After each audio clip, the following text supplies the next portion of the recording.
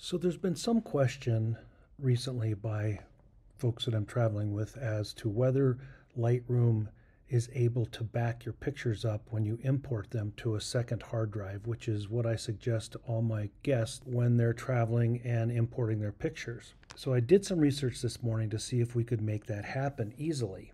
Because back when I used Lightroom, it was not very efficient. It was super simple, but it was not very efficient and it is still the same as it was back when I used to use Lightroom. So let's go through the process and show you how Lightroom does this. So I have now opened up the Lightroom import window to go out and find the group of pictures that I want to add to Lightroom. So I'm going to click on this little group of images that I don't have in Lightroom and we're going to go through the whole process of how this works. It's fairly well laid out. It's going to be importing from the Macintosh HD. It's going to make a copy so it's going to copy photos to the new location and add to catalog. These are in a separate folder that I don't want them to move them from. I want them to copy and we've got an external hard drive that I'm copying these folders to. Now we go down into this panel and we see don't import suspected duplicates and make a second copy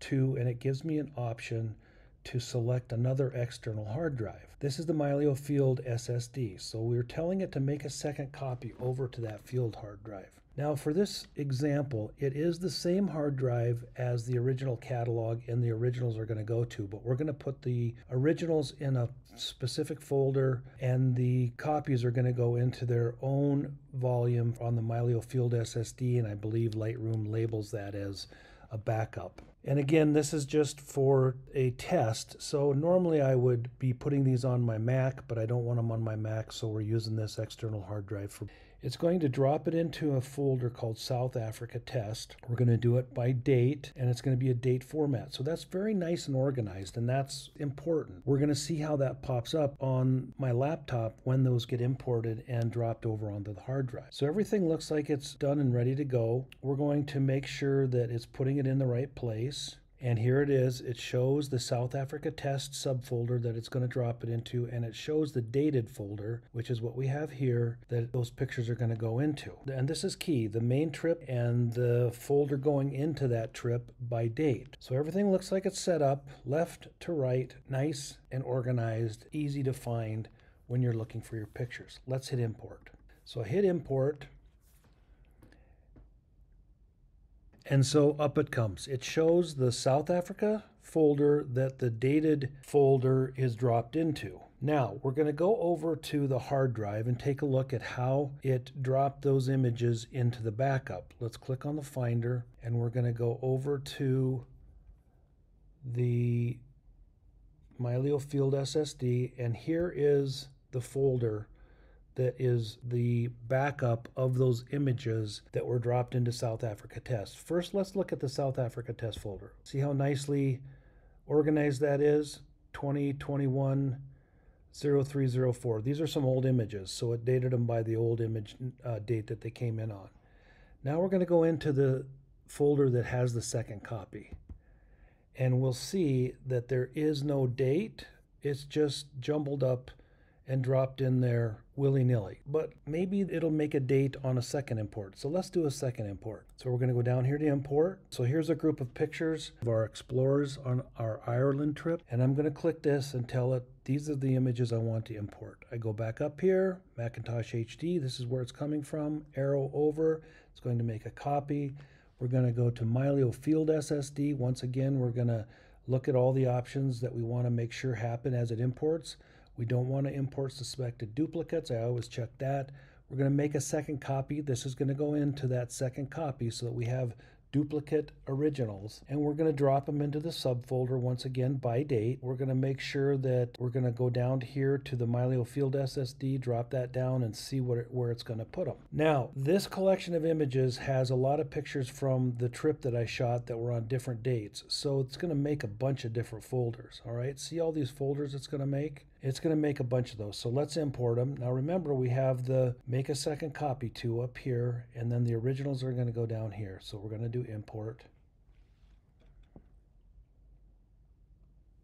And here they come. Now here they all line up under this South Africa test. Obviously these are from Ireland, but we're just doing this as a test. So here they are listed in really nice numerical order by the date that they were shot. You got 304, 406, 425, 427, 28, 29, 30, yada, yada, yada.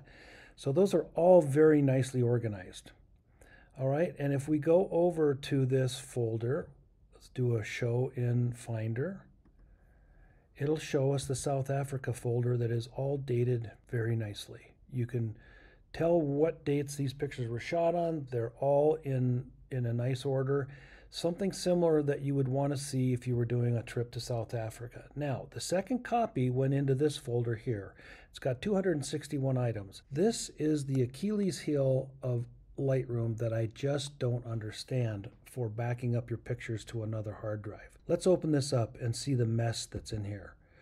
I've got my bald eagle pictures from Montana. I've got all my Ireland pictures in here, and none of them are put in a dated folder similar to how the originals went in. So, yes, it is backing these up, but it's an absolute mess. And here are the folders inside South Africa, all based on these days. And you can imagine that if you ever had a big hiccup where you lost all of your originals and you had to now go back and figure out what days these were shot on, it would be a nightmare. So I personally never used the backup to a second drive with Lightroom because it did this. It basically opened the closet door and threw everything inside.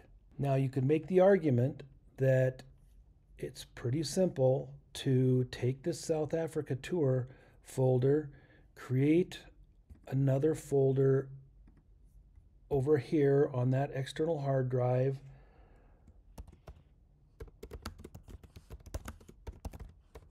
South Africa backup. We open that folder, do a Command A, select all, click copy, go over to the other window, paste, and back up all your pictures manually. That works. But that's an entire step that you don't have to even think about when you're using Mylio.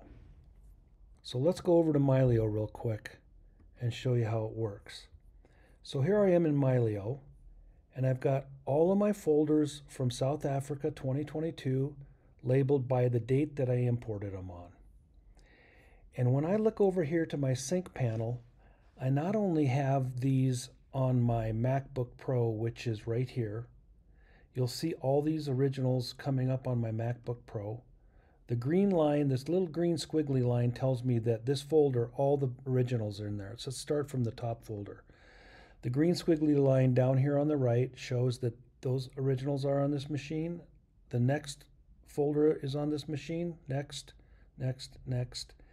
And before we go through all these, I think you got the idea. If we look down here on Mylio Field SSD, that's the external hard drive that I connect to my laptop when I'm in the field. And you'll notice that all the lines are green. Furthest left line is thumbnails, the middle line is previews, and the last line are originals. So this entire drive has thumbnails, previews, and originals, and they all got there on their own. I didn't have to touch anything other than plug that hard drive in. As we go through these folders, you'll see, watch the right panel over there as these change, those green lines stay solid. The top one is wavy. And what does that mean?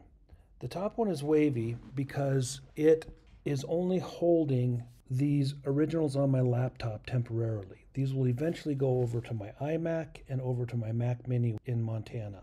Some of those originals already have gotten to my iMac and Mac Mini since I had my computer open on the internet while I've been staying here in South Africa. And Mylio starts sending those pictures back to my machines in Montana. They're not going to beat me home because I have a lot of pictures and bandwidth here is not unbelievable, so they don't make it all the way home. But it's already started putting them over there. So that's how Mylio works, and it's really one of the important features of making your backup in the field seamless and effortless.